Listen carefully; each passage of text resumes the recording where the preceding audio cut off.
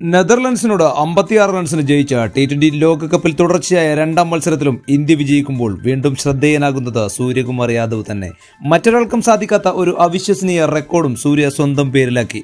വെറും ഇരുപത്തിയഞ്ച് പന്തിൽ അർദ്ധ സെഞ്ചുറി തികച്ച സൂര്യകുമാർ ഒരൊറ്റ വർഷം ഇരുന്നൂറിന് മുകളിൽ സ്ട്രൈക്ക് റേറ്റിൽ അഞ്ച് അർദ്ധ സെഞ്ചുറികൾ നേടുന്ന ആദ്യ താരം എന്ന വിലോഭനീയമായ റെക്കോർഡാണ് സ്വന്തമാക്കിയത്.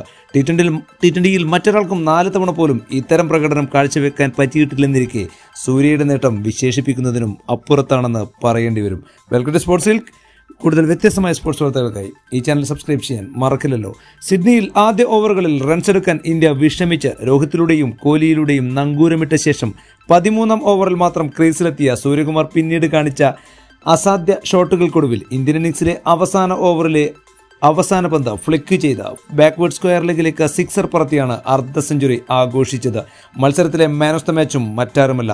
റൺസ് കണ്ടെത്താൻ ബുദ്ധിമുട്ടിയ പിച്ചിൽ പക്ഷേ മൂന്ന് ഇന്ത്യൻ ബാറ്റർമാർക്ക് അർദ്ധ സെഞ്ചുറി നേടാൻ പറ്റിയ അപൂർവ അവസരവും കണ്ടു. രണ്ടായിരത്തി ഏഴിൽ ഇംഗ്ലണ്ടിനെതിരെയും ഇതേ നേട്ടം കൈവരിച്ച ഇന്ത്യയ്ക്ക് പുറമെ രണ്ടായിരത്തി പതിനാറിൽ ഇംഗ്ലണ്ടിനെതിരെ സൗത്ത് ആഫ്രിക്ക മാത്രമാണ് ഈയൊരു നേട്ടത്തിലെത്തിയ മറ്റൊരു ടീം. കഴിഞ്ഞ മത്സരത്തിൽ പാകിസ്ഥാനെതിരെ പുറത്താകാതെ നിന്ന് ജയം പിടിച്ചെടുത്ത വിരാട് കോഹ്ലി നാൽപ്പത്തിനാല് പന്തിൽ അറുപത്തിരണ്ട് റൺസ് നേടി. ഇക്കുറിയും ടോപ്പ് സ്കോററായപ്പോൾ നായകൻ രോഹിത് ശർമ്മയും ഫോമിലേക്ക് തിരിച്ചെത്തി. മുപ്പത്തൊമ്പത് പന്തിൽ അമ്പത്തിമൂന്ന് റൺസാണ് രോഹിത് ശർമ്മ നേടിയത്.